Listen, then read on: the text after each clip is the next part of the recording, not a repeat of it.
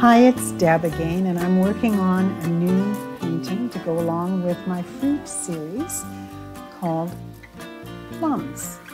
Now, this particular painting is done uh, again in the same kind of paper as I did the uh, other projects. It's the Strathmore Visual Journal cold press watercolor paper. Uh, it's a perfect size for these kinds of exercises. Uh, it's a spiral bound book. It's sort of a small size that you can do lots of practice things in.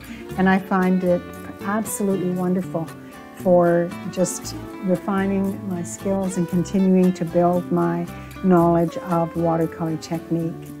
Uh, you can see that I'm putting down color on the page and I'm going to be building up tonal values at the base of each of the plums. right now there's only two there, but there will be a third one coming.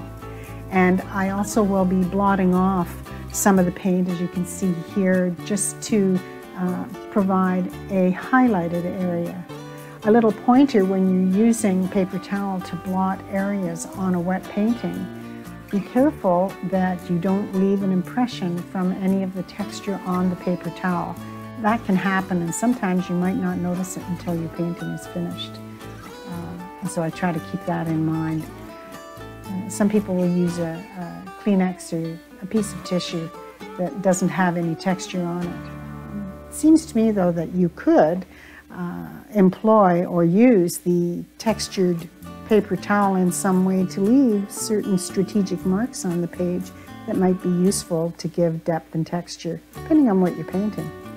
So you can see that I'm continuing to add the depth to the base of the plums and uh, shadowed areas to indicate that they are sitting on a flat surface.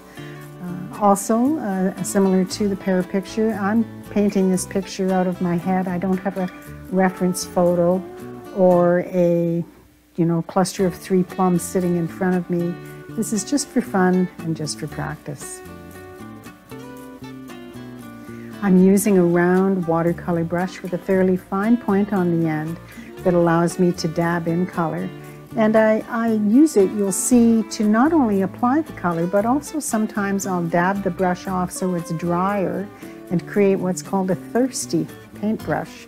And a thirsty brush can be used to pick up uh, some uh, wet paint that may be on the page, again for use in creating texture and highlighted areas uh, in a watercolor painting. So you can see I used the end of the brush there to create that lighter spot on the darker green plum. And now I'm crafting the uh, title of the page, which you'll see will be plum. But in the final version, I decided to add an S that unfortunately I didn't capture on the video. So at the very end of this uh, video presentation, you will see the final picture with the addition of an S on the end for plums in plural. So similar to the technique I used with the pear video, I will be highlighting areas of this picture with a white gel pen. You're going to see that shortly. And in order to apply the gel pen, I uh, took a moment to uh, dry the page with uh, the help of a hair dryer in order to be able to uh, easily apply the pen to the page.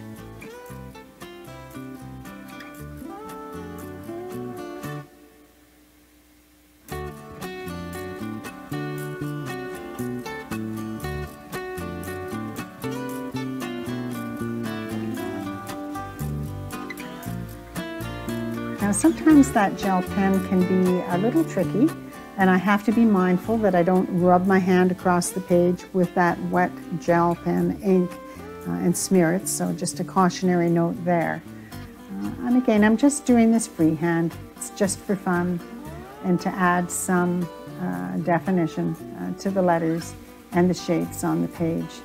I'll be uh, outlining the plums here in just a moment.